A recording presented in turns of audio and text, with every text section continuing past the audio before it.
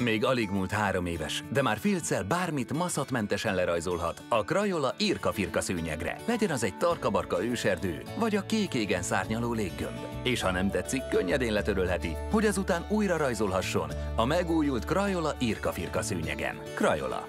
Kreativitás határok nélkül.